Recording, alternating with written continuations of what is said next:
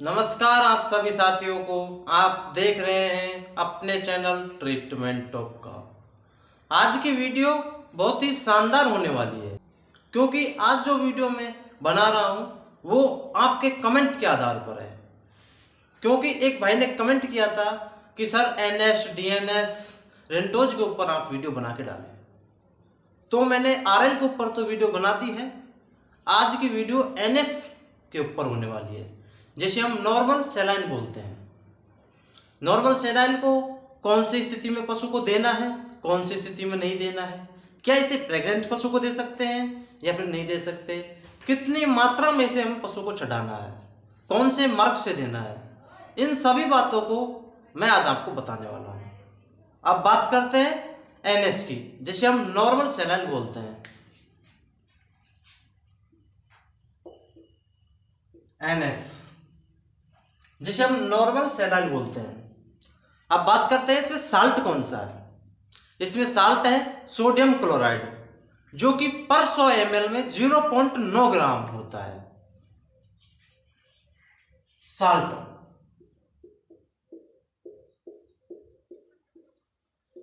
NaCl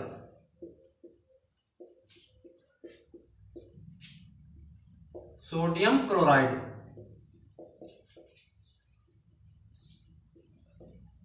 जो पर 100 M में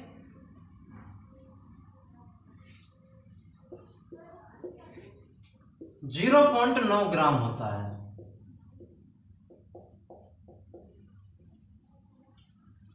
जो 100 एम में 0.9 ग्राम सोडियम क्लोराइड होता है। अब बात करते हैं, एनएस को कौन सी स्थिति में पशु में यूज़ लें, उपयोग में लें? यूज़, उपयोग।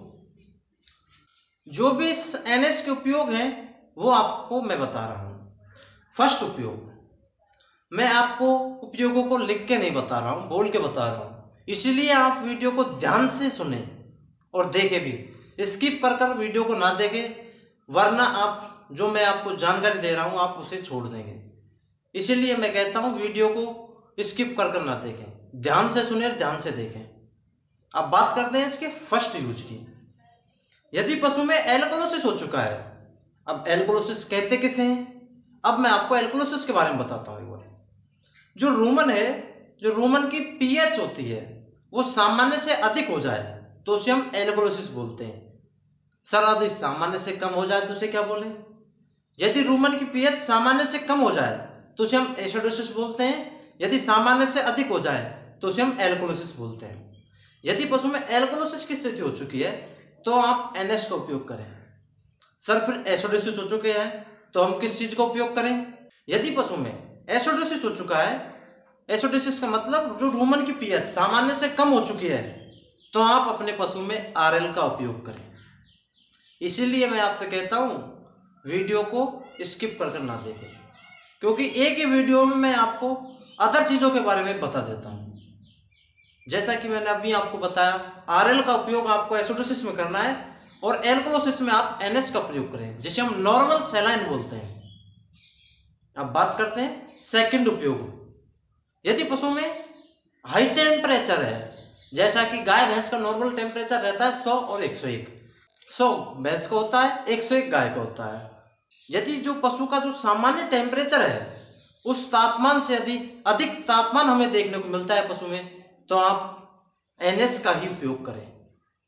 एनएस का उपयोग, आप जो पशु में घाव है, आप घावों को साफ़ करने के लिए भी आप एनएस का उपयोग कर सकते हैं। अब बात करते हैं नेक्स्ट यूज़। यदि पशु में डिहाइड्रेशन हो चुका है तो आप डिहाइड्रेशन में भी आप एनएस का उपयोग कर सकते हैं। लेकिन आप परिस्थिति वश ही एनएस का उपयोग कर सकते हैं। यदि आपके पास आरएल भी नहीं है डीएनएस भी नहीं है रिंटोज भी नहीं है तो आप एनएस का उपयोग कर सकते हैं। नेक्स्ट यूज़ यदि पशु के शरीर का कोई भी अंग शरीर से बाहर आ चुका है, जैसे प्रोलप्स के केस में हमें देखने को मिलता है तो आप उस भारी ऑर्गन को, अंग को आप एनएस से साफ़ कर सकते हैं। एनएस से उसकी धुलाई कर सकते हैं, जैसे कि हम नॉर्मल सेलाइन बोलते हैं। नेक्स्ट उपयोग. यदि पशु में हीट स्ट्रोक हो चुका है हीट स्ट्रोक का मतलब बॉडी का तापमान अधिक हो चुका है तो भी आप एनएस का उपयोग कर सकते हैं। नेक्स्ट उपयोग, यदि पशु में टॉक्सीमिया हो चुका है तो भी आप एनएस का उपयोग कर सकते हैं। नेक्स्ट उपयोग, जब भी सर्जरी करते हैं तो ऑर्गनों को साफ़ करने के लिए आप एनएस का उपयोग कर सकते हैं। जितने भी नॉर्मल सेलाइन के उपयोग हैं, मैं आपको एक बार और दोहरा देता हूँ। यदि पशु में एल्कोलोसिस हो चुका है तो आप एनएस का उपयोग कर सकते हैं। यदि पशु में हीट स्ट्रोक हो चुका है तो आप एनएस का उपयोग कर सकते हैं। यदि पशु में टॉक्सीमिया हो चुका है तो भी आप एनएस का उपयोग कर सकते हैं। यदि पशु में बॉडी टेम्परेचर पशु का हाई है तो भी आप एनएस का उपयोग कर सकते हैं। नेक्स्ट उपयोग, यदि पशु में घाव है तो आप घावों को साफ़ करने के लिए भी आप एनएस का उपयोग कर सकते हैं। जितने भी नॉर्मल सैलाइन के उपयोग थे, यूज़ थे वो सभी मैंने आपको बता दिए हैं। अब बात करते हैं, इसे हम प्रेग्नेंट पशु को दे सकते हैं कि नहीं दे सकते हाँ? आप इसे एनएस को प्रेग्नेंट पशु में चढ़ा सकते हैं। देने का मतलब कि ये जो एनएस है नॉर्मल सेलाइन है, इसे आप प्रेग्नेंट पशु में लगा सकते हैं। अब बात करते हैं, कौन से मार्ग से इसे लगाना है? मार्ग। इससे मार्ग है आईवी जिसे हम इंट्राविनस बोलते हैं। मार्ग या रूट इंट्राविनस आईवी आपको एनएस को आईवी ही देना है। अब बात करते हैं इसकी डोज।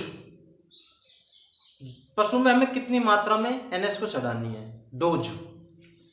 या फिर पशु को एनएस कितनी मात्रा में दें? मात्रा या डोज। आपको एक केजी बॉडी वेट पर दस एम एल देनी है।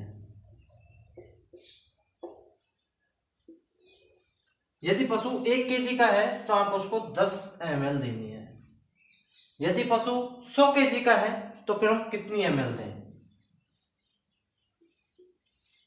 सौ गुना दस।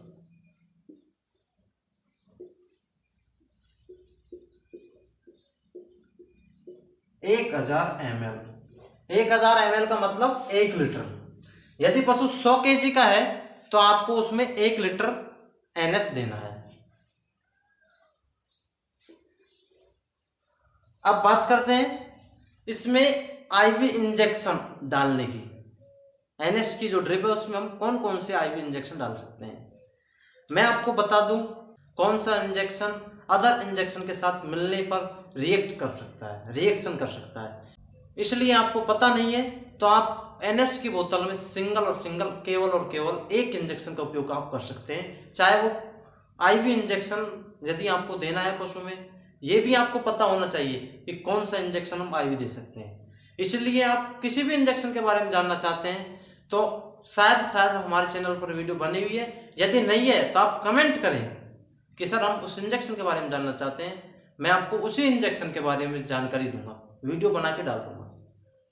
अब बात करते हैं। इसके मार्ग मैंने आपको बता दिया है। आई भी आपको एनएस को देना है। इसकी मात्रा मैंने आपको बता दी है। यदि पशु सौ के का है तो आपको एक लीटर देना है। मैं आपको एक चीज़ और बता दूँ। जो ये मात्रा है, ये पशु की कंडीशन के आधार पर होती है। लेकिन फिर भी आपको यदि सौ के का है तो आपको एक लीटर तो देनी है देनी है। लेकिन यदि पशु को ज़्यादा फ्लूड की ज़रूरत है तो वो प्रैक्टिसर स्वयं तय करता है। जो भी नॉर्मल डोज रेट है, वो आपको मैंने बता दिया है। कौन सी स्थिति में देनी है, वो भी मैंने आपको बता दी है। अब बात करते हैं, कौन सी स्थिति में नहीं देनी है? वो तो जैसा जैसा मैंने आपको साथ साथ बता दिया है, यदि पशु का बॉडी टेम्परेचर सामान्य से कम है तो आप इसे नहीं दे सकते। जो कि मैं आपको एंड टू एंड बता चुका हूँ। यदि पशु में एसिडोसिस है तो आप एनएस का उपयोग नहीं कर सकते, जो भी मैं आपको पहले बता चुका हूँ। जो भी इसके बारे में एनएस के बारे में नॉर्मल सेलाइन के बारे में जो भी जानकारी थी, वो सारी जानकारी मैं आपको दे चुका हूँ। यदि आपको जानकारी अच्छी लगी तो आप अपने चैनल को सब्सक्राइब कर सकते हैं। बेल आइकन को भी दबाएँ, ताकि भविष्य में आने वाली वीडियो आपको जल्दी मिल सके।